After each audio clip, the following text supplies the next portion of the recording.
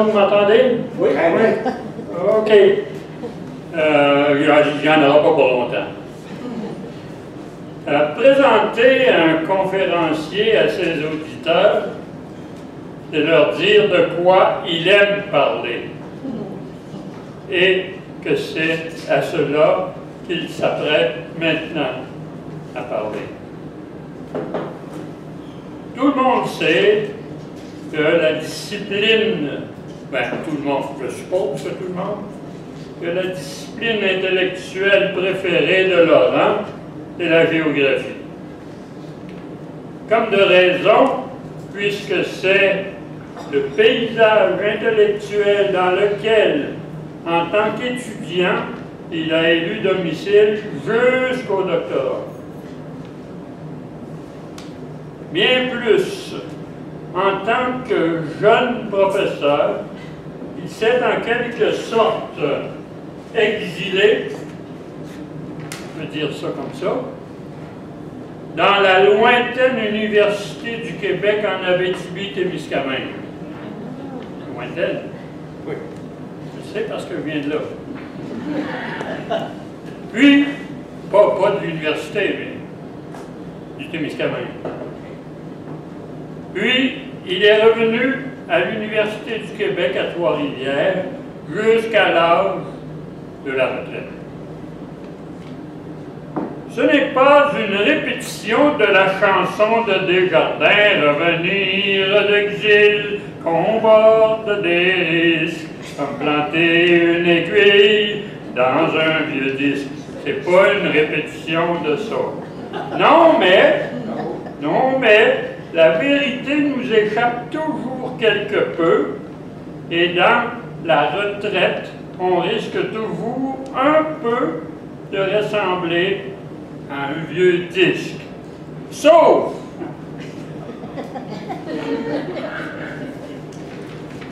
Sauf si la retraite n'est pas le contraire de la recherche.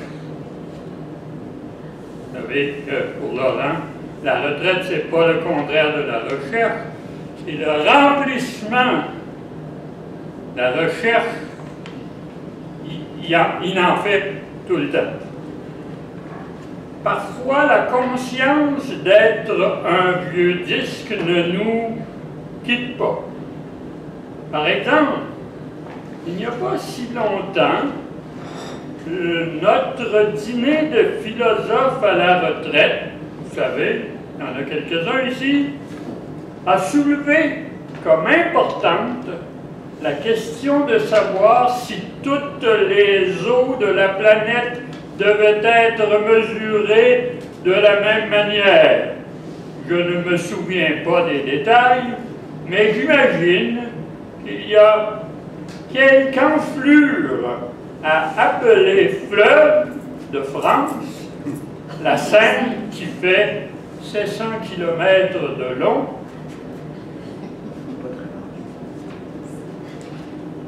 alors que notre Outaouais de 120, de, de 1200 km n'est appelée qu'une rivière du Québec bien ordinaire.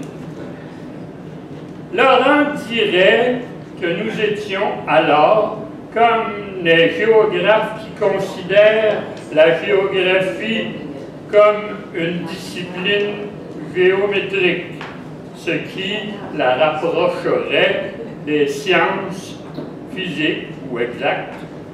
Ce n'est pas l'opinion de Laurent pour, qui la géographie n'est pas une science exacte, mais est d'abord une science humaine.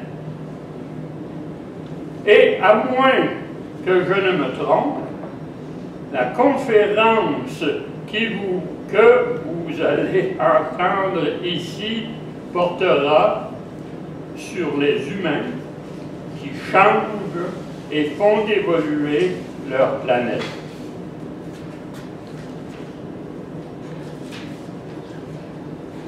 à propos de laquelle nous ne pouvons pas beaucoup, mais nous pouvons quelque chose.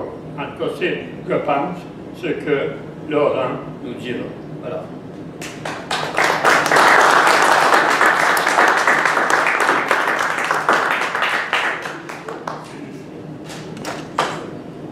Bonsoir. Est-ce que vous m'entendez bien? Oui. Oui. OK, ça va? Bon, euh, bonsoir à tous. Euh, merci Luc pour ta présentation, ta belle présentation. Je dois, vous dire que c'est le premier philosophe que j'ai rencontré à Trois-Rivières. Il restait dans la même rue que moi. Et qu'on a fait beaucoup de marches ensemble. On a parlé de philosophie. J'ai sûrement été influencé par lui. Euh, bon, j'ai bien aimé euh, rencontrer un philosophe avec, avec, qui je pouvais discuter de philosophie. J'ai toujours été un, peu intéressé par la philosophie, même si je ne me rappelle pas beaucoup de la philosophie que j'ai apprise au, au, au Nicolette. Je suis allé au séminaire Nicolette de 58 à 66. L'origine de ma conférence de ce soir, c'est que j'ai entendu des. euh, assisté à des conférences euh, sur un bilan de l'enseignement euh, au collégial, au cégep, parce que l'an passé, on a fêté le 50e anniversaire de la philosophie au Cégep. Bon, j'ai constaté qu'il y avait un certain pessimisme. Il y en a qui ont parlé de grandeur et misère de la philosophie. Mais moi, je n'étais pas d'accord avec ça. Je me suis dit, il faut que je fasse mon propre bilan. C'est un peu une réponse à certains qui vont parler de la bilan. Euh, en faisant mon, premier bilan, mon propre bilan, je me suis posé la question, qu'est-ce que je peux dire comme géographe? C'est une question qui était intéressante. Mais comme ce n'est pas une science exacte, la géographie, bon, on peut y aller. j'ai voulu, euh, j'ai deux écueils que j'ai voulu éviter. Commencer, euh, regarder la philosophie à partir du rapport parent. Ou, l'autre écueil, c'était de, parler de l'ambiance euh, qu'il y avait au début de la Révolution tranquille, au moment de l'implantation des céréales. Parce que moi, ma vision de la, de la philo, je la voyais plus à partir des collèges classiques. C'est pour ça que je voudrais vous parler des collèges classiques un peu. Et ça, permettrait de voir la différence, euh, les différences qu'il y a avec le, les cégeps. Évidemment, moi, je constate qu'il faut regarder le bilan de la, philosophie au cégep en fonction de ce qui a précédé le rapport parent. Ma démarche est la suivante. Là, je vais vous lire un, court texte. Comme le titre, le titre de mon exposé l'indique, je désire jeter un regard depuis les séminaires c'est comme si je m'étais mis dans la peau d'un bon grand-père qui a la charge de son petit-fils, dont les parents sont partis à l'étranger pour une année sabbatique. Ce grand-père doit aider son petit-fils euh, lors de son déménagement en ville, dans un logement partagé avec ses amis. Il doit également l'accompagner lors de son arrivée au cégep. Il a aussi pour tâche de le superviser au début de son parcours scolaire, en vérifiant s'il suit bien régulièrement ses cours, surtout les cours de philosophie. Le grand-père découvre avec étonnement les syllabus de cours de philosophie de son petit-fils, qu'il trouve trop long et compliqué pour une bonne compréhension. Par contre, il constate que les manuels sont très bien faits et vulgarisés. Pour ce grand-père, c'est l'occasion non seulement de découvrir la philosophie enseignée dans les cégeps, mais aussi d'observer qu'il a des souvenirs assez vagues de l'enseignement de, de la, philosophie qu'il a, reçu, a reçu au séminaire à la fin des années 50. Avec un peu de nostalgie, il va consulter la documentation sur les cours de philosophie aux archives de son séminaire pour voir ce qu'il a appris dans cette discipline et surtout de ce qu'il a oublié. Ainsi, depuis la NUB, ce grand-père peut jeter un regard particulier, souvent admiratif, de la philosophie étudiée par son petit-fils.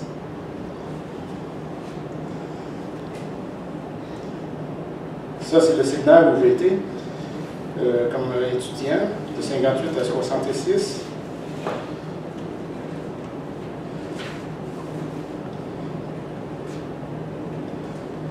Évidemment, ma perspective est à partir du séminaire Nicolas, j'ai essayé de vérifier la correspondance qu'il y avait avec les autres collèges, parce qu'il n'a pas fait une étude, une, une étude euh, détaillée de tous les séminaires. Et je pense qu'il y a pas mal de, de parenté en tous les collèges classiques, qu'ils soient urbains ou ruraux, qu'en ville, il y a des, des, qui étaient, c'était des externes qui les fréquentaient. Je suis documenté un peu. Je constate que ce que je présenter à soir, ça reflète un peu les années 50, grosso modo même si moi j'étais né en 66, ça reflète les années 50. Euh, bon, j'ai quatre points à aborder. Le contenu de la philosophie enseignée dans les deux systèmes, cégep et séminaire. Normalement, je devrais distinguer séminaire et, et cégep, parce que moi, on parlait aussi de collège séminaire ou de collège classique. Va essayer de distinguer les deux. l'insertion de la philosophie dans le cursus, dans le programme des séminaires euh, et des cégeps, voulait étudier la relation entre les étudiants et les professeurs dans les deux systèmes. Ça peut paraître étrange ce que je vais vous dire là-dessus. Je n'ai pas cité, enseigné la philosophie au cégep, j'ai enseigné au cégep. Mais il y a des choses à dire quand même. Euh, les relations entre, les, philosophes professeurs à la société. Ça, j'ai trouvé ça intéressant parce que les années avant 60 sont intéressantes de, ce, ce plan Bon, mon premier point, c'est le contenu. Si on commence avec euh, le séminaire, ici, c'est ceux qui ont été d'abord dans un séminaire, ils connaissent un peu le, déroulement des études. Les quatre premières années, éléments latin, euh, éléments syntaxe, méthode de rectification, en France, c'était 6, la 5e, la 4e et 3e. Euh, bon, ces quatre années-là, c'était surtout la grammaire, des langues, le latin, français évidemment, anglais, grec. On faisait beaucoup de, de, thèmes, de versions. Un peu moins de thèmes, les thèmes c'était en latin. Euh, bon, il y avait des matières un peu, on peut dire, secondaires. Aujourd'hui, on peut les considérer comme importantes, surtout pour les mathématiques, religion, histoire et géographie. Cette partie du, collège de était couronné par un examen d'immatriculation supervisé par les universités Laval et Montréal. Les collèges classiques étaient reliés à une des deux universités. L'immatriculation, c'était un goulot d'étranglement un peu, parce que celui qui passait l'immatriculation, c'était bon. Autrement dit, le, le secondaire d'aujourd'hui ressemble un peu à ça, parce que ça bloquait l'immatriculation. Après l'immatriculation, deux belles années, belles lettres et rhétorique. Bon, les autres, il y a d'autres termes pour désigner ces deux années-là, c'est les lettres ou lettres et humanité. C'est les deux, années que j'ai préférées au collège, parce qu'on étudiait la littérature française. Euh, la rhétorique, il ne faut pas oublier qu'on avait abandonné pas mal la rhétorique pour des dissertations, euh, comme en France Là, là aussi, il y avait un examen de baccalauréat qu'on appelle parfois désigné comme le petit bac dans d'autres collèges. Et là, absolument, les gens passaient davantage pour euh, l'immatriculation. Bon, il y avait philo 1, philo 2. D'autres termes pour désigner philo 1, philo 2, c'était junior ou senior. Bon, il y avait aussi le terme philosophie-science. Euh, euh, un petit détail, il y a un, professeur du collège de Nicolette, François Lessieur de Zonier. Il y avait une classe de philosophie, il y avait les deux années, si vous voulez. Une année, il enseignait les sciences à tout le monde. La deuxième année, il enseignait la philosophie à tout le monde. il y avait une rotation, il y avait la même classe. Euh, disons, à philo, par exemple, il y avait d'autres cours. La, religion, évidemment. Mathématiques, chimie, biologie, littérature, mathématiques, physique, astronomie parfois. Architecture dans certains cas. Bon, le contenu des deux années de philosophie, en philosophie toujours, logique, philosophie de la nature, métaphysique, morale, Est-ce que je dois faire quelque chose, euh, Michel? Non, pas de il, il est plus lent que moi, là. Sciences, mathématiques, physique, biologie, chimie, architecture. La religion, c'est l'apologétique, vous savez, euh, c'est pour mettre en valeur, évidemment, l'intérêt de la religion. Il ne faut pas oublier que le professeur avait commencé que Jésus, c'est un fait historique, qui est né d'un endroit. L'historien, je ne me rappelle plus, de, qui, qui est écrit dans les années 70, en latin, il a mentionné dans son livre d'histoire que Jésus a existé.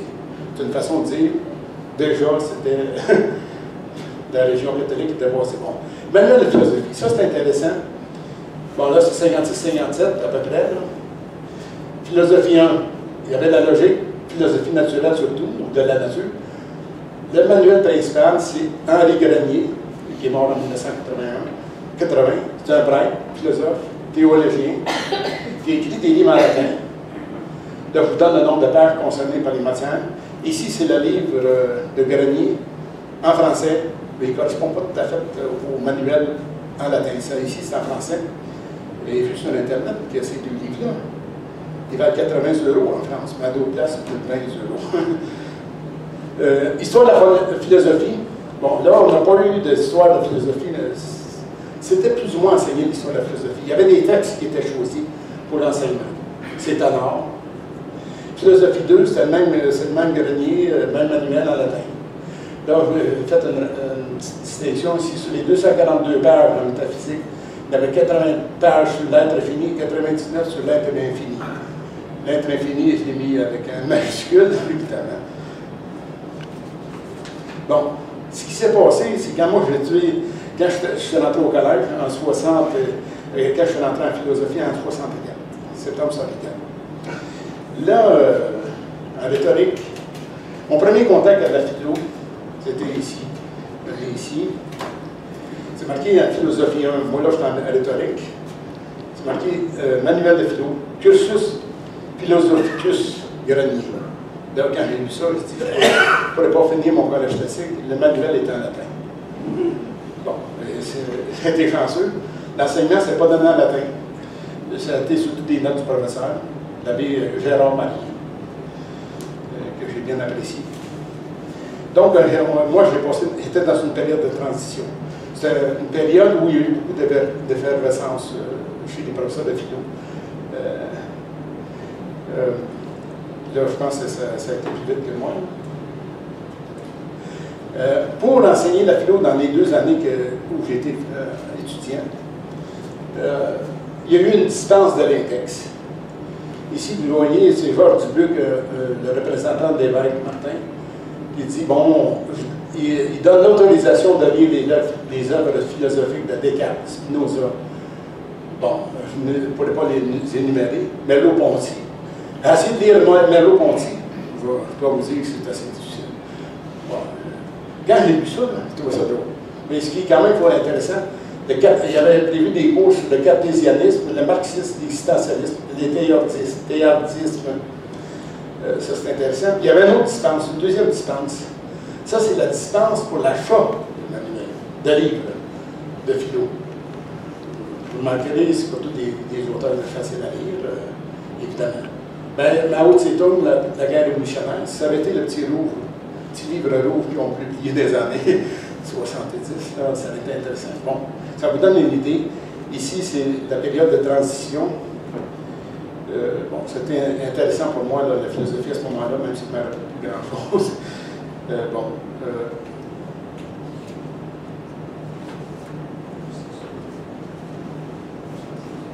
les armoiries du séminaire. elles sont intéressantes ici. Donc, évidemment, vous savez, la croix au milieu, ça représente la foi. Euh, à gauche, vous avez un M euh, dans l'écution. Ça veut dire Marie, Vierge Marie. Euh, ici, les pins, ça représente Nicolette. En haut, c'est les ailes de l'archange Saint-Gabriel, qui était le patron du séminaire. Ici, ça représente la lumière. La lumière qui, concerne l'acquisition de la vérité par l'éducation. Là, il y a d'autres détails dans cette. Mais ce qui est intéressant à dire, ça, je trouve ça se vérifie, pour la religion et, les arts. Ça, c'est vraiment, ça représente assez bien le, cours que j'ai suivi au, au collège, au séminaire. Là, j'ai fini euh, ma présentation. J'ai cinq observations à faire sur les cours de philo euh, à ce moment-là. La philosophie enseignée repose principalement sur une seule doctrine, vous la connaissez, le thomisme. En ce sens, la philosophie était la servante de la théologie. Deuxième observation, l'absence de présentation, pour ne pas dire d'ouverture aux doctrines philosophiques ou autres philosophes, surtout sur la période contemporaine. Il n'y avait pas beaucoup, euh, d'éléments. Troisième observation, on ne parlait pas beaucoup d'histoire de la philosophie. Euh, c'est évident, on ne va pas en parler beaucoup parce qu'on enseignait surtout le thomisme. C'était normal. Euh, c'est comme si la philosophie arrêtait à Saint-Thomas, ben, Thomas d'Aquin. Ou je Saint-Thomas, mais je sais que les philosophes disent Thomas d'Aquin. Euh, la médiation entre Thomas d'Aquin se faisait par des manuels écrits en latin, dont Grenier. Donc par des prêtres, des religieux, ayant d'avoir des diplômes en théologie. Il ne faut pas oublier que pour devenir prêtre, il faut suivre des cours de théologie. C'est quatre ans au grand séminaire. Après les huit ans du petit séminaire, bon, euh, ça veut dire qu'il ne faut pas oublier que le latin, c'était la langue universelle de la religion catholique. un prêtre d'Amérique latine pouvait parler à un nord-américain sans problème en utilisant le latin. J'ai même lu que le cardinal Léger qui parlait si bien le latin, aurait pu devenir euh, pape à un moment donné. J'ai vu ça dans une biographie de Léger. Bon, ce qu'il faut retenir, évidemment, c'est la période de transition qui était une période d'effervescence. Euh, une période d'effervescence où on commençait à lire d'autres auteurs. Euh, mon professeur de philo, c'est Jérôme Allier, euh, qui lui nous avait conseillé de lire La place de l'homme dans la nature de Théâtre de Chardin. bon, pour moi, Théâtre de Chardin, c'est Saint-Thomas 2.0. Parce que lui, il a essayé de réconcilier la science avec la foi. C'est ce qu'avait fait Saint-Thomas. Lui aussi. Mais lui, c'est un scientifique, donc il étudiait sur l'évolution des espèces, etc. Il a essayé de réconcilier les deux. Ses livres étaient circulés en cachette euh, au début, parce qu'il n'était pas accepté par l'Église catholique. Par exemple, Pierre Dansereau, euh, écologiste québécois bien connu, il en avait un exemplaire néo-typé, vous savez, imprimé comme ça, avec, une, avec, une, manivelle. Euh, là, j'avais une anecdote qui, pour moi, est intéressante. Ça se passe au collège euh, André Grasset, créé par les Sulpiciens en 1927. Euh, là, vers les années 70, début 70, peut-être fin des années 60, on trouve dans, des, déchets, des, ordures dans le sol, une peinture, une peinture qui, est trouvée dans un, dans une histoire de, de collègue, André Gressin. Vous voyez la peinture ici? C'est la peinture de Saint-Thomas. une peinture de Saint-Thomas, il doit en avoir plusieurs. Il était sur un tas. Cette peinture était sur un tas d'ordures. L'histoire de, la toile est intéressante et annonciatrice, à mon point de vue, d'un changement dans le monde des collèges. Elle a été demandée par Camille, euh, Émile Fillon, professeur de philosophie, en 31, 32 ou 35 à peu près, je n'ai pas les dates précises. Il a demandé ça à un professeur de dessin, de son collège. Euh, bon, le, dessin a été fait par le, dessinateur, il a fait euh, Saint-Thomas. Mais il n'a pas voulu signer. Je vous donne en mille qui n'a pas voulu signer sa peinture, c'est pas les mille Bordula. Mille Bordula a enseigné le dessin euh, de 23 à, 30, à 39 au Gracien. Vous savez, bon, il est parti pour l'école du meuble en 39. Il, a, cumulé peut-être deux tâches à un moment donné. Puis il a signé le refus de Laval en 48. Bon, on a fini pour la période du contenu pour les, des séminaires, but des cours de la philosophie au cégep. Là, vous les connaissez tous, à peu près ces cours-là, évidemment, pour ceux qui ont enseigné ou qui ont étudié au, collège, au cégep. Les trois cours obligatoires, philosophie et rationalité, l'être humain, éthique et politique. Moi, j'ai eu accès euh, au syllabus euh, du cégep de Trois-Rivières. Je ne sais pas si c'est les bons syllabus distribués par les étudiants, mais je les ai trouvés longs et difficiles à décoder. Même moi, disons, euh, qui est à des textes, puis relire, relire, mais je les ai trouvés difficiles. donc, il y a aussi donc, une remarque que je pourrais faire là-dessus, sur ce tableau.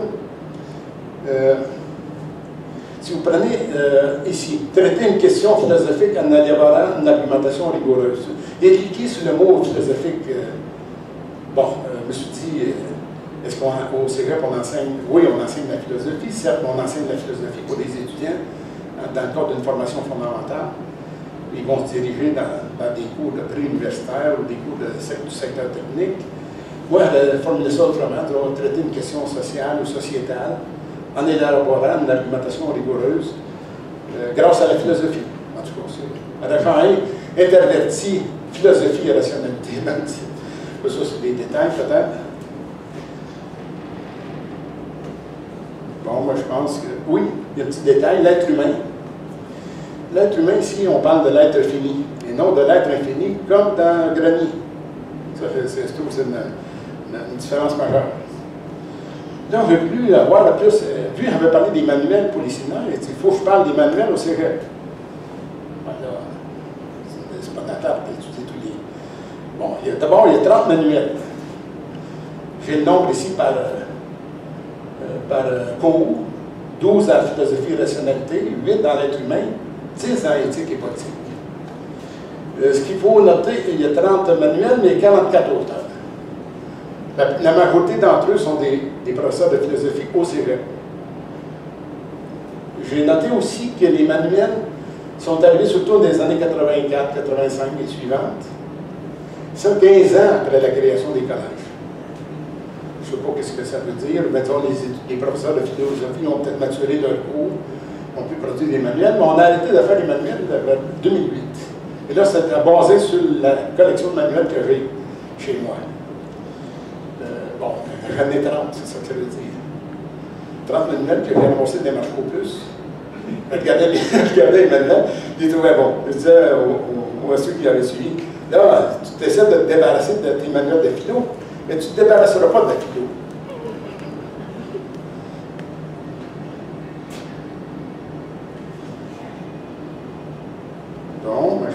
Ah oui, chose, c'est que je voulais faire avec le tableau, moi, je voulais mentionner les principaux termes apportés par les, dans les manuels de philosophie. Et je voulais regarder la liste des auteurs. Vous savez, les auteurs concernés, les auteurs philosophiques. J'avais eu un beau tableau, mais vous savez, c'était difficile à faire. Trop, impossible pour, pour moi, dans le moment, de faire une liste de ça. Bien, j'ai procédé autrement. Je me suis dit, dans pour l'être humain, regarder dans tous les manuels, quelle est la proportion des manuels comparés de Thomas d'Aquin? 50% des manuels qui, portent sur l'être humain ont mentionné Saint Thomas d'Aquin. C'est quand même intéressant, mais on en parle peu, pas longtemps. Je dois vous dire que les manuels, euh, ils sont bien présentés. Euh, euh, les, professeurs ont un grand choix de manuels. Moi, je trouve ça super intéressant. J'avoue que les manuels sont, bien faits. Et vous savez que le rapport parent avait indiqué qu'il ne fallait pas avoir de manuel. Et c'est une question de se poser. Mais regardez la matière, je me suis aperçu que, bon, la philosophie, ça reste quand même difficile pour l'insérer bien, puis même pour euh, quelqu'un qui a un là, qui n'est pas dans la philosophie, ça reste difficile. Un manuel, ça va être intéressant. Moi, je pense savoir qu'il ne voulait pas avoir de manuel de ce type-là peu doctrinaire sur ce qu'il est pensé. Mais je pense qu'il m'apparaissait essentiel. Bon, j'ai fait une petite feuille. Luc, tu peux la ramasser. ah, ça va te couper, ça, ça va te couper. bon, mais Luc, tu peux me la donner? Pas tu la gardes dans tes archives. Ouais, c'est ça. Pas tu la gardes dans tes archives. Ah, mais là, tu aurais pu la garder.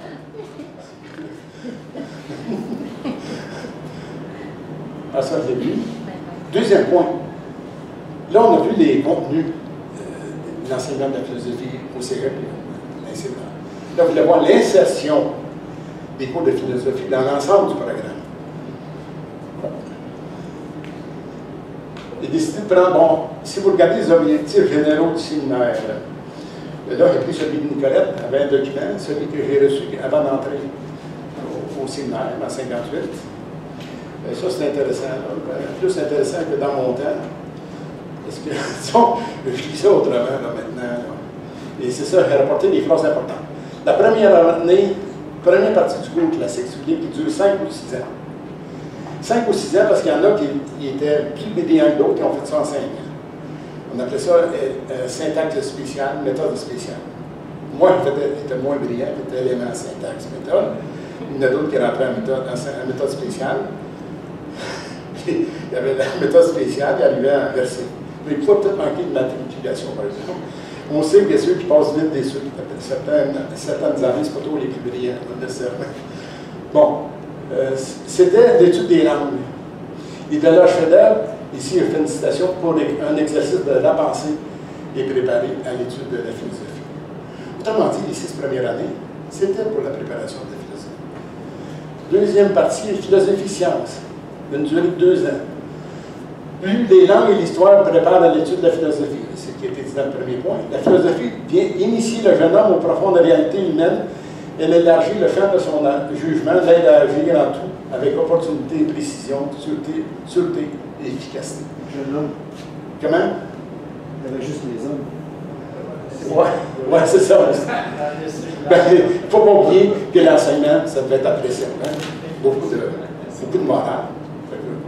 C'est vrai que ça aide à, agir en toute opportunité et précision. La finalité du cours classique, dans le cours classique, c'est donc l'étude des lettres et classiques. Lettres classiques et de la philosophie qui domine en souveraine, c'est leur texte. L'étude de la religion par le catéchisme et l'apologétique vient couronner toutes les autres sciences du cours classique et donner connaissance. Prospectus. Deux citations éclairantes, à mon point de vue.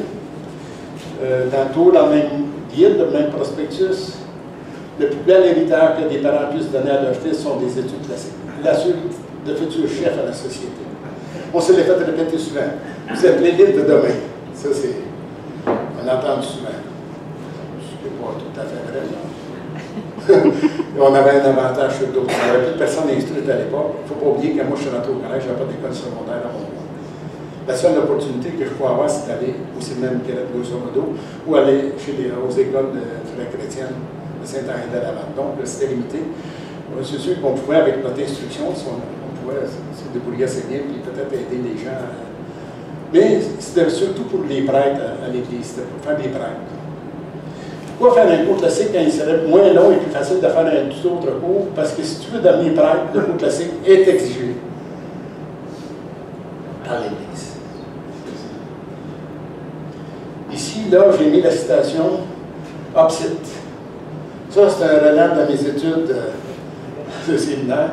Même les notes de présentation des travaux étaient en latin. Ibid, ibidem, opposite, en tout cas, ça, c'est un petit clin d'œil que j'ai fait. OK, je dois avoir un point là que je dois étudier avant le cégep. OK, je l'ai ici en note. Là, ici, pour faire un bilan de l'insertion de la philosophie dans le, euh, dans le programme du séminaire, et quatre observations. Qu'est-ce qu'un séminaire? C'est un, établissement privé, bien dit, privé, pour préparer le futur prêtre à des études au grand séminaire. Grand séminaire, c'était pour des études de théologie fondamentale, pastorale et morale. Bon. Petit séminaire, c'est une communauté sous le contrôle des prêtres. La philosophie, dans le fond, c'était pour préparer à la théologie. moi, je constate que les cours de philo que j'ai eus, ce sont des cours de théologie. La meilleure de pleine pour ça, c'était le thomisme. Là, ici, il y une belle phrase que j'ai en quelque part, euh, qui est assez éclairante à mon point de vue, de la philosophie en arrière du choix de saint Thomas. Foi et raison ne peuvent se contredire dans la mesure où elles émanent toutes les deux de Dieu. Par conséquent, la théologie et la philosophie ne peuvent pas aboutir à des vérités divergentes. Elles diffèrent par leur méthode. La philosophie parle des choses créées par Dieu, pour atteindre Dieu, alors que la théologie prend Dieu comme point de départ c'est bien dit, c'est clair, c'est net. Alors, je ne suis pas sûr que tout le monde accepte ça. Bon, la philosophie au séminaire était plus critique. Il y a un auteur qui n'a pas trouvé la référence, il dit que la philosophie au, séminaire était au-delà et au-dessous des problèmes de l'existence.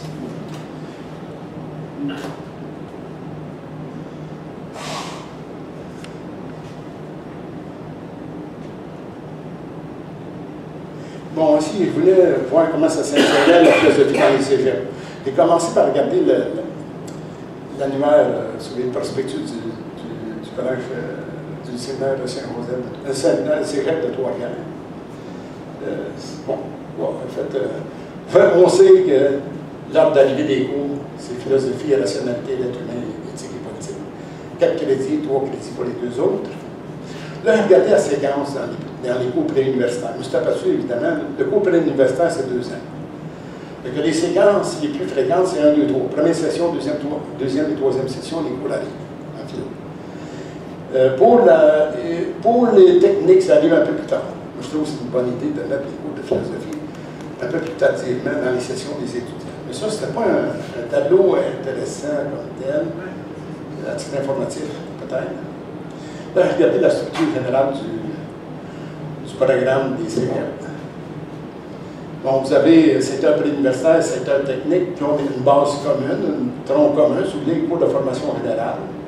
3 en philo, 4 en français, 2 en langue seconde, 3 en éducation physique, 2 cours complémentaires au choix, fait 14 cours. La première réaction là-dessus, ben, sur cette colonne-là, c'est le mot général. Je sais que ça doit bloquer ailleurs, euh, dans des discussions sur les CRM. Moi, c'est sûr que je préfère formation, formation fondamentale plutôt que générale. Parce que général, si, vous allez dans un dictionnaire, ça fait référence à vague, ambigu. En tout cas, c'est. Déjà, dans le, les mots ont une importance fondamentale, c'est différent. Ça veut dire que c'est essentiel, nécessaire, vital pour une formation. Le deuxième problème que j'ai, c'est deux coûts complémentaires au choix. Ça, c'est des observations que je fais à partir de mes propres observations. Coûts complémentaires, pour moi, c'est contradictoire avec l'idée de formation fondamentale. Si c'est fondamental, on ne doit pas mettre de cours obligatoire, on ne doit pas mettre de cours au choix. Moi, pour moi, ça paraît évident, mais je ne peux pas peut-être à, discuter longuement là-dessus. Moi, je suis curieux, j'avais mis un cours qui s'appelle Le monde des sciences un autre cours, le monde des techniques, avec un peu d'histoire sur les sciences et techniques, et aussi peut-être un petit peu d'épistémologie. Ça, ça a bien préparé à, mes yeux le, choix entre le secteur préuniversitaire et le secteur technique.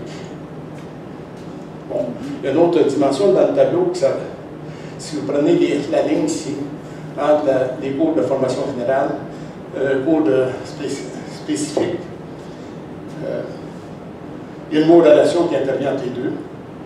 Ça, ça veut dire que, euh, il y a une relation entre le professeur et les étudiants. Entre relation entre les étudiants et les professeurs. Vous savez, les professeurs enseignent. Les résultats, ça dépend du récepteur aussi. Donc, euh, c'est difficile d'évaluer l'apport des cours de philosophie dans la formation des étudiants. C'est très difficile. Parce que la philosophie, c'est une formation intrinsèque à la formation des étudiants, des collégiens, des CGP.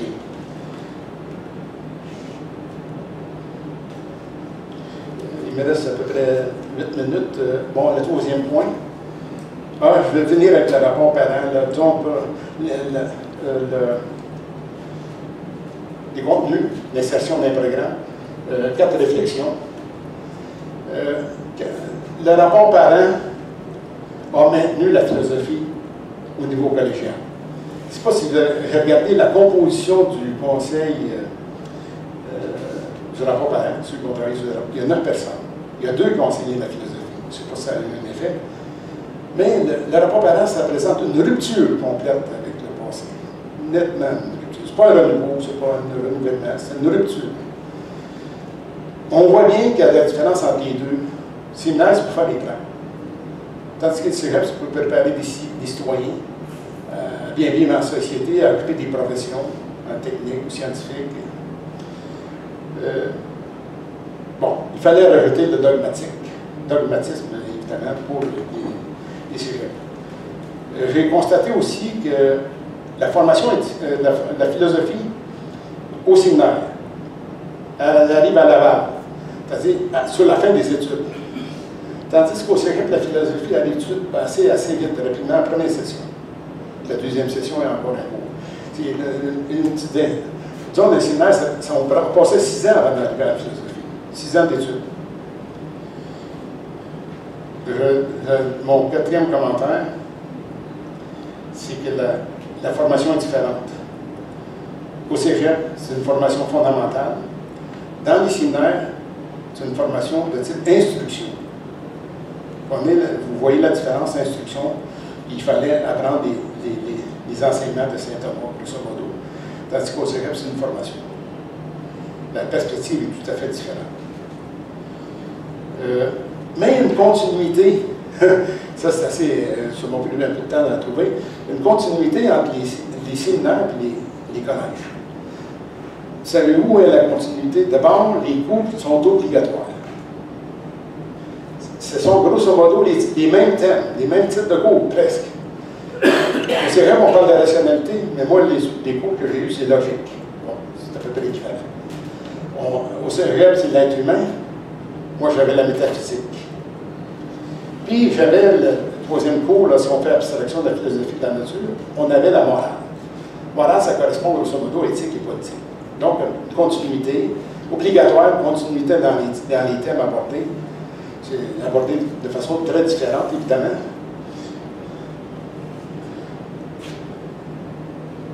Il m'en manque un, une ressemblance. Je pense que j'ai tout dit. Caractère obligatoire, thème dominant. Mm-hmm. Bon, je. Là, je dois passer à mon autre thème. Il ne reste pas beaucoup de minutes. Euh, non, ça, je l'ai vu. Je l'ai vu. non, on arrête de, de, j'avance, j'avance, j'avance, j'avance. Premier fait, là, disons, concernant la relation prof-étudiant, ça, ça m'a paru important. Vous voyez, ici, pour les séminaristes que j'étais, là, moi, j'ai passé six ans à la maison, comme tous les élèves euh, maintenant, tous les, enfants maintenant. Et puis, fait 7 ans au primaire, 6 ans au secondaire, l'équivalent secondaire. Ça arrivait en philosophie, au premier cours de philosophie à 19 ans. Ben, par contre, euh, avec le système actuel, 6 euh, ans à la maison ou à la maternelle, 6 ans au primaire au lieu de 7, 5 ans au secondaire au lieu de 6, l'étudiant arrive à 17 ans. Il y en a qui arrivent à 16 ans. Ça, une dame qui m'a dit, moi je suis arrivé 16 ans au, au cégep c'était relativement jeune. Ça veut dire, pour apprendre la philo, là, c'est jeune Mais on dit qu'on fait de la philosophie auprès des enfants maintenant, mais je ne sais pas comment ils procèdent, mais ça a l'air, ça, ça marche bien. Bon. Je reviens à mon collège. Là, les conditions d'admission, il fallait avoir une bonne note au primaire. Euh, il fallait, on passait un examen du prêtre recruteur. Le prêtre recruteur passait dans chacune des paroisses il regardait le, comportement probablement des enfants. Puis moi, été choisi en même temps que mon cousin, euh, Marie Plateforme. Je devais, devais promettre peut-être pour la prêtrise. Mais ça donnait un certificat spécial quand même pour rentrer au séminaire. Je vous le mentionne. Un certificat de bonne mœurs. Bon. Est-ce que l'élève a passé des bonnes vacances dans sa paroisse? Ça dit très bon. Vous voyez, il y avait quand même curé remplissait. Si j'étais de bonne famille, etc. Il avait réussi à passer ces conditions-là. bon, ici, vous voyez une bâtisse, évidemment. Ça, on appelle ça un pensionnat. Vous allez me dire, c'est vrai. Mais par, par définition, pensionnat, c'est un établissement privé, religieux, en principe, bon, euh, les étudiants restaient sur place, excepté ceux qui fréquentaient un séminaire en ville. Les gens résistaient dans le séminaire. Ce n'était pas, pas la grande passoire, ça. moi, moi, je pouvais rentrer au séminaire n'importe quand, mais au séminaire, ce n'était pas le cas. On passait par la porte centrale. Vous voyez ici, euh, encore sur la porte, l'armoirie du séminaire, 1803, troisième plus vieux collège de la province après Montréal et Québec. Mais pourquoi on l'a mis dans un trou aussi creux, là, tu sais? c'est un peu vous dire la raison majeure, c'est que Monseigneur Plessis, je pense à l'époque, avait peur de se faire saisir ses bâtiments à Montréal et Québec par les, anglophones. Fait qu'il a décidé de bâtir un, un collège classique, presque en campagne, sur la rive sud Sénat. Puis en face de Trois-Rivières. Bon, il fallait passer par là. Qui dit pensionnat dit un directeur, supérieur, prêtre, code romain. J'aurais dû mettre cette diapo avant l'autre. Bon. Non? Oui? On passait. Quand on avait passé la porte, on passait pas loin. Pas loin, il y avait un portier. Là. Le sens de portier, c'est celui qui surveille les entrées et les sorties. Euh, des élèves qui voulaient aller en ville en cachette aller manger au restaurant. Peut-être voir leur blonde, ça, quand il était plus vieux. Une petite anecdote. Je vous avertis, c'est peut-être un peu sexiste. Le portier à l'époque, c'était un bon gars. Peut-être qu'il ne pensait pas trop au nom. On faisait appeler les noms des, personnes par le parloir. Il y avait un micro, on entendait ça partout dans le collège, autant dans les salles que dans la cour de récréation. Là, le portier disait Joe a l'air au parloir. Ça, ça veut dire que c'est un étudiant qui avait dit Appelle donc Joe a au parloir. Vous comprenez l'idée Joe a bon, elle pas bonne de faire ça. Je m'excuse. bon, ici, je vais voir, mais tu sais, quand tu rentrais au pensionnat, euh, au pensionnat, fallait que ta grosse euh, valise. Ça, c'était de l'académie, il y avait des valises. Chacun avait sa valise. Ça veut dire qu'on sortait à la Toussaint, à Noël, à Pâques. Puis, à la fin de l'année, quand on ne sortait pas, parce qu'on était renvoyé du séminaire, ça, ça Ici, c'est la salle d'études des grands. Euh, il appelle ça l'étude des grands. Nous, on appelait ça la salle d'études. Il y en avait une pour les grands, pour les petits. Ça, c'est intéressant. Là. Ça veut dire que là, on était sortis de classe. On allait faire nos travaux dans la salle d'études. Peut-être après une petite récréation. Donc, qu'est-ce qu'on faisait? L'étudiant, le principe de, la salle d'études, c'était de finir plus vite nos travaux, puis lire un roman quelconque. C'était ça le côté agréable. Tu sais, c'était pas la télévision ou d'autres choses, pas d'autres divertissements, c'était lire quelque chose. Ben, moi, j'ai pu lire La mort de l'été de Châtelet. Ça m'a inspiré, comme collégien, collégien. Mais je dois dire que je l'ai reçu depuis euh, là, six ans, le mais c'est une critique de la bourgeoisie britannique. En tout cas, c'est pas même affaire. J'ai lu d'autres choses, des Thibault, de Martin Dugard, que, que j'ai essayé de, que pas été capable de lire parce que c'était plate. Bon, il y avait d'autres choses qu'on pouvait faire. Il y en a qui étudiaient des sujets qui n'étaient pas abordés dans les classes. Il y en a qui étudiaient le cinéma, etc. Quand tu étais petit, tu écrivais à tes parents. Quand tu étais plus vieux, tu écrivais tes blancs.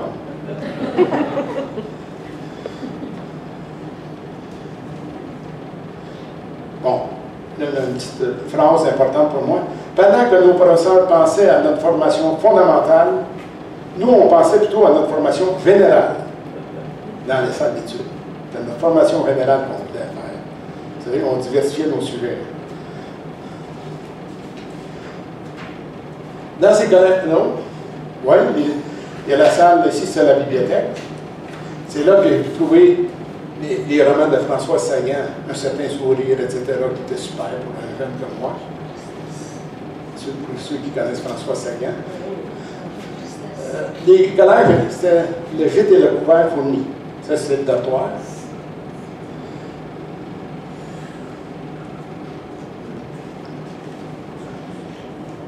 Euh, dortoir, c'est une, signification assez particulière. C'est le lieu de sommeil pour une communauté. C'est des mots de collégien, ça, de, de séminaire. Mais quand j'étais en rhétorique, on a eu une chambre pour euh, une seule chambre. Alors, moi, c'était fantastique par rapport au dortoir, c'était agréable. Lui, ben ici, l'étudiant a peut-être laissé traîner un peu de quelques grosso. La toilette, est, la toilette était dans le corridor ainsi que les douches. Bon, comme je disais, le couvert était fourni. Ici, c'est le réfectoire.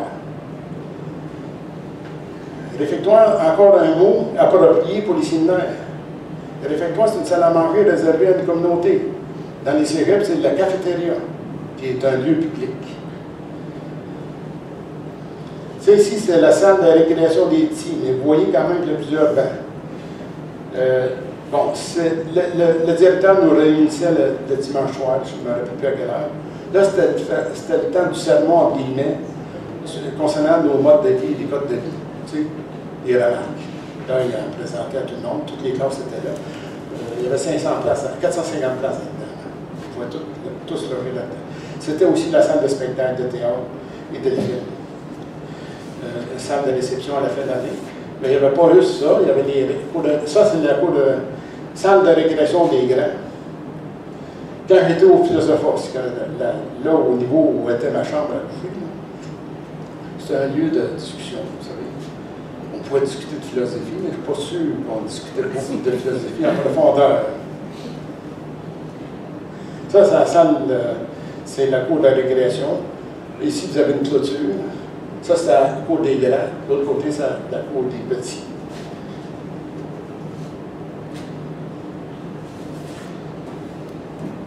Mais oublié une chose importante.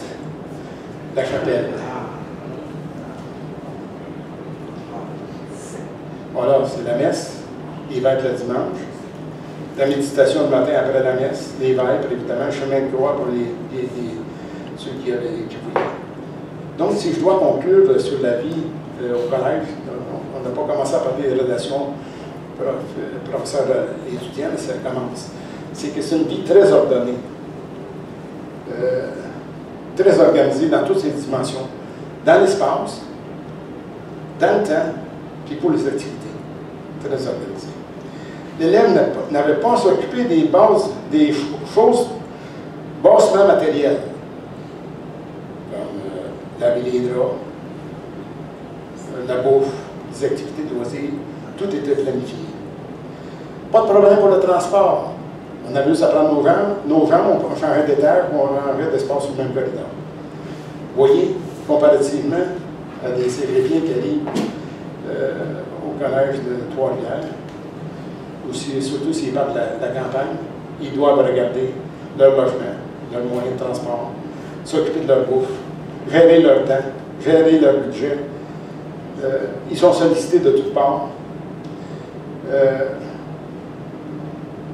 bref, ça prend beaucoup d'autonomie pour les Européens qui deux qui ont 17 ans, alors que moi, ma vie était organisée jusqu'à 19 ans pour faire des cours de philo.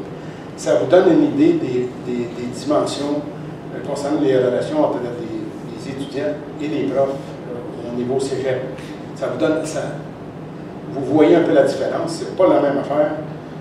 On est loin, euh, on est loin du, du classique dans les cégeps actuels.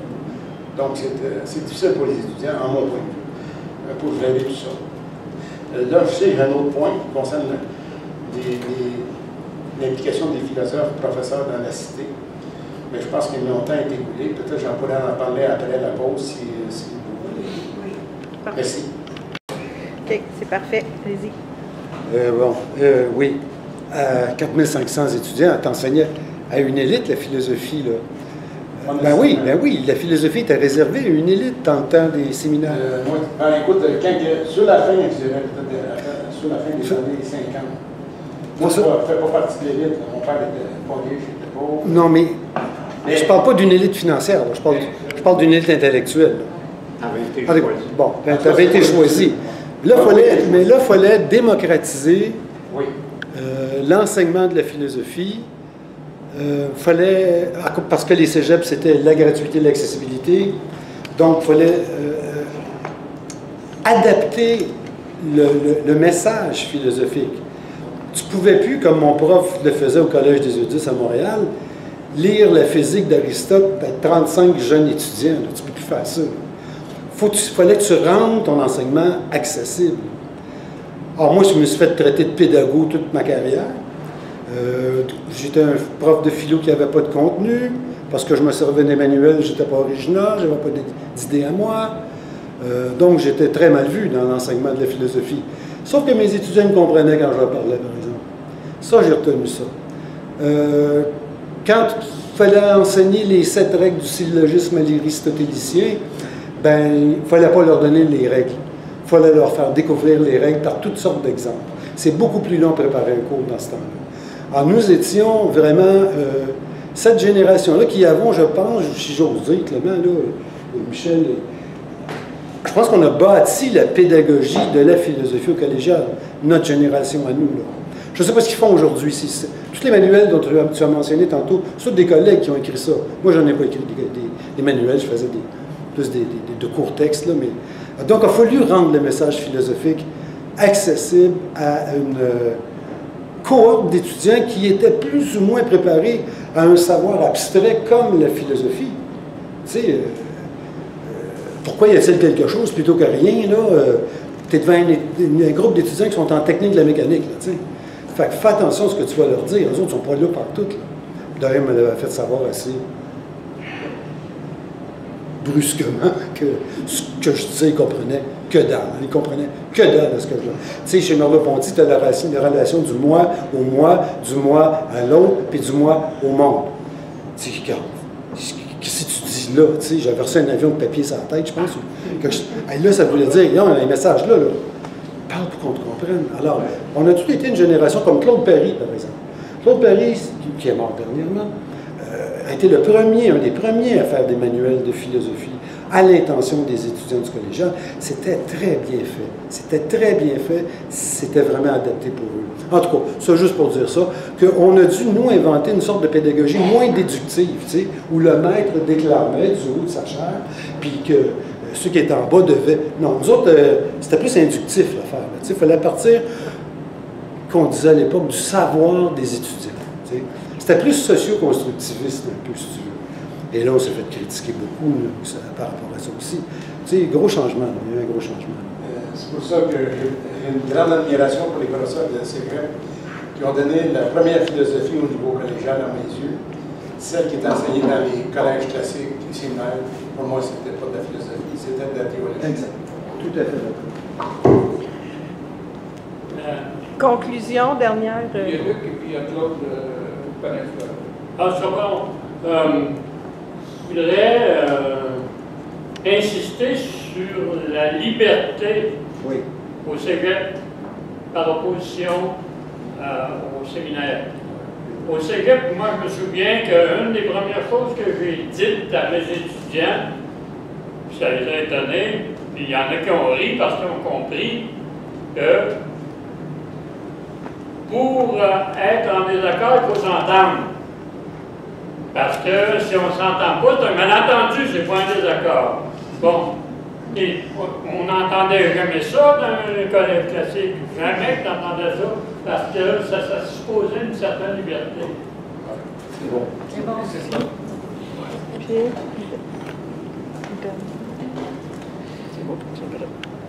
Oui, merci, euh, Laurent. Mais l'opposition que tu as faite, c'est entre, tu le disais, finalement, c'est une vision des années 50 que tu as opposée euh, au cégep euh, beaucoup plus tardif. Euh, il y a eu une période de transition avant l'arrivée des cégeps et après. Et aussi, toi, tu t'es centré sur un séminaire dont l'objectif était de former des prêtres. Ce n'était pas le cas de tous les collèges classiques. Non. Moi, si je peux parler de mon expérience, d'abord, j'ai été étudiant au classique, j'ai enseigné au collège classique, j'ai enseigné au cégep, ensuite à l'université. Donc, j'ai connu la transition du classique, j'ai enseigné pas longtemps au classique, un an. En fait, deux ans, parce que même après, après la création des cégeps, j'étais au collège Saint-Ignace, il fallait euh, finir ce qu'on appelait le vieux stock. C'était les gens qui étaient en philo 2, et donc on, on, fit leur bac pour eux, et il y a un groupe de professeurs qui était assigné à ces gens-là, au vieux stock, des jeunes professeurs, j'avais les cheveux longs épaules à l'époque. Et ces étudiants-là, euh, ils étaient euh, allumés, on ne faisait pas un enseignement déductif et dogmatique. On, parlait d'avoir à peu près leur âge. Euh, il y avait énormément de discussions dans les, cours. Eux, ils arrivaient la deuxième année avec euh, mai 68 dans le portrait de l'été. À la rentrée de 68, les étudiants qui faisaient leur philo 2, euh, ils avaient juste ça à l'esprit, puis ils avaient attention, on fait des assemblées générales. Il y a eu une période, et même quand j'étais étudiant à Montréal, euh, il y avait des prêtres, mais il y avait des professeurs laïcs aussi euh, dans le collège, et on n'était pas pensionnaires non plus. Donc, on allait, quand, j'étais en philo 2 ou en philo 1, on allait manger au restaurant ici. Euh, Donc, il y a eu une période, ah, je, comprends, c'est une bonne stratégie d'opposer ce qui se passait dans les années 50 à les 90, mais c'est fun aussi de voir que les choses avaient commencé à changer euh, avant l'arrivée des cégeps et avant même que le, avant que le rapport parent, cas, soit mis en, application. Et tu vois, moi, mes cours de philosophie, c'est 64, euh, 65, 65, 66. On était dans la période de transition, mais la, rupture était plus. Je savais que le, le collège, le, séminaire de Nicolette n'était pas nécessairement représentatif. Euh, par exemple, j'ai dû aller chercher dans les documents sur le. C'est Ici, c'est le collège André Grasset, c'est le collège des Sul- Sulpici. Tu sais, c'était. J'ai regardé ça, mais ça ressemblait pas mal au nôtre. Mais il y avait des fois des professeurs un peu plus euh, délurés, peut-être des étudiants plus délurés, dé- délurés. Ils restaient en ville, c'était des externes. Mais il reste quand même. euh, moi, j'ai dit surtout 50. C'est pour ça que. euh, c'est sûr que la réduction tranquille a commencé avant. Moi, écoute, enseigné. Oui, Oui, enseigné aussi au collège Saint-Ignace, À qui, qui est en 67, Ouais. 67, 68, 68, 69. Et c'était un collège jésuite, mais je n'étais pas croyant.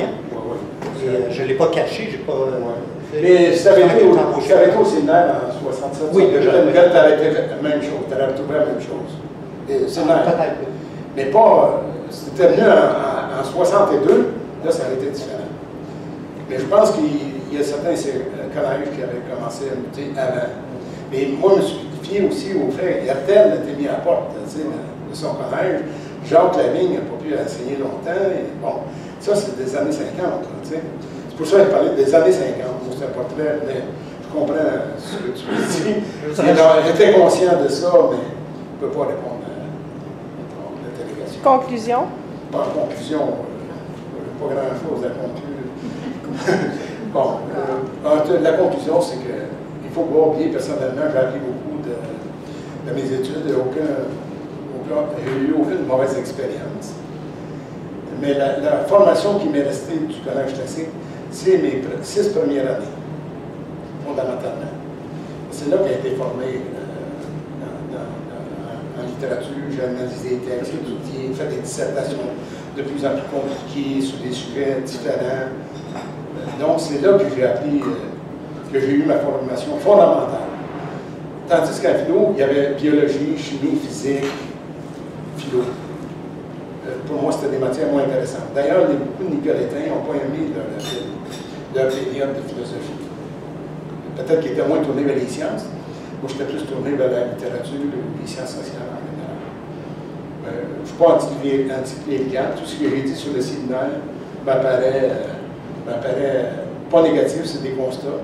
Mais quand j'ai parlé d'homogénéiser et pasteuriser, si j'avais dit ça au collège, j'aurais été mal. Pour moi, c'était un effet de langue, que c'était pas en arrière quand elle dit ça, mais c'était un effet de langue.